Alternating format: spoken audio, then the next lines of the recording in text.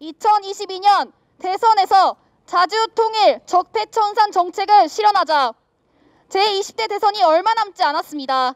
새로운 정부에서 어떤 정책을 펼치는가는 국민들의 삶에 결정적인 영향을 미칩니다. 국민들 또한 선거를 통해 민심을 표출합니다. 국민을 위해 복무하려는 대선 후보들은 이러한 민심을 받아 안고 국민이 요구하는 정책을 약속해야 합니다. 지난 시기 수많은 국민들은 사회 대개혁, 적폐 청산, 자주와 통일을 외치며 촛불을 들고 거리에 나섰습니다. 그러나 국민들의 바람은 아직까지도 제대로 이루어지지 않았습니다. 여전히 통일은 요원하고 적폐 청산조차 제대로 진전되지 않은 상황입니다. 제20대 대선에서는 자주 통일 적폐 청산을 향한 국민들의 염원이 반드시 이루어지도록 해야 합니다. 이를 위해 대학생들은 자주 통일 적폐 청산을 실현할 수 있는 후보를 지지하고 투표할 것이며 관련한 정책을 직접 구상하여 발표하고자 합니다. 2022년 대선 정책 온라인 발표 대회를 개최하여 실제로 구상한 정책들을 대선 후보들에게 제안하는 등 계속해서 민심을 반영하는 목소리를 내고 행동할 것입니다. 2022년 대선 정책 온라인 발표 대회를 준비하며 대학생들은 다음과 같이 선포합니다. 식민지배의 역사를 부정하고 주권을 침해하려는 일본으로부터 역사와 주권을 지키는 정책이 필요합니다. 2021년인 오늘에도 일본은 식민지배에 대한 제대로 된 사죄조차 하지 않고 있습니다. 오히려 우리나라를 비난하며 일제의 역사를 미화하는 등 뻔뻔하고 파렴치한 행태만 보이고 있습니다.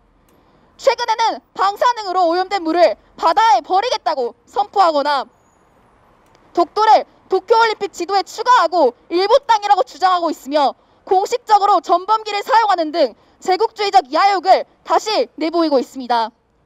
2022년 대선에 출마하는 후보들은 일본에게 방사능 오염수 방류 방침 철회와 식민지배 역사 사죄, 전범기 사용 금지, 독도 수호를 강력하게 주장해야 할 것입니다. 통일된 한반도를 만들기 위한 정책이 필요합니다. 조국 통일은 청년의 미래를 위해 가장 중요한 영역 중 하나입니다. 전시에는 총알바지, 평시에는 일하는 기계로 취급받는 오늘날 청년 문제의 가장 큰 핵심 고리는 분단입니다. 그렇기 때문에 분단이 고착화될수록 청년들의 고통은 커질 수밖에 없습니다. 대선 후보들은 청년 문제를 해결하기 위해 통일로 한 걸음 더 나아가기 위해 남북 관계를 개선하고 남북 합의를 이행하는 등 그런 정책을 약속해야 합니다. 조선일보는 폐간할 수 있는 정책이 필요합니다. 현재 조선일보는 적폐 세력의 사령부 역할을 하고 있습니다. 언론은 정치권에 대해 비판하고 견제하는 그런 기능을 수행해야 하지만 조선일보는 진보 민주 개혁 세력을 탄압할 의도를 가지고 거짓 보도와 왜곡 보도도 아무렇지 않게 자행하고 있습니다. 가짜 뉴스들을 생성하며 국민들의 눈과 귀를 가리고 있는 조선일보에게 더 이상 언론의 자격이 없습니다. 2022년 대선 후보들은 가짜뉴스의 진원지인 조선일보 폐간을 약속해야 할 것입니다.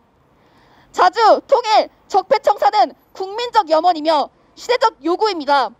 저희 대학생들은 2022년 대선에서 관련 정책들이 약속되고 이를 실현할 수 있는 대통령 후보가 나오기를 바랍니다. 민심을 반영한 그런 대선 정책을 직접 만들고 적극적으로 정책 협약까지 이뤄내며 대한민국의 미래를 책임지는 그런 청년 학생들이 되겠습니다. 2021년 10월 29일 한국대학생 진보연합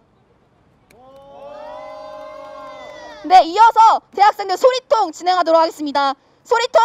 소리통! 소리통! 소리통! 2022년 대선은 2022년 대선은 자주 통일 적폐 청산에 자주 통일 적폐 청산의 정책을 실현해야 합니다. 정책을 실현해야 합니다. 사회 개혁은 국민들의 염원입니다. 국민들의 영원입니다. 일본에 대한 당당한 외교 또한 국민들의 염원입니다. 영원입니다. 대학생들은 대학생들은 이를 실현하는 대통령을 선출하고 선하고 관련 정책을 제안하는데 관련 정책을 제안하는데 앞장서도록 하겠습니다. 앞장서도록 하겠습니다. 네, 감사합니다.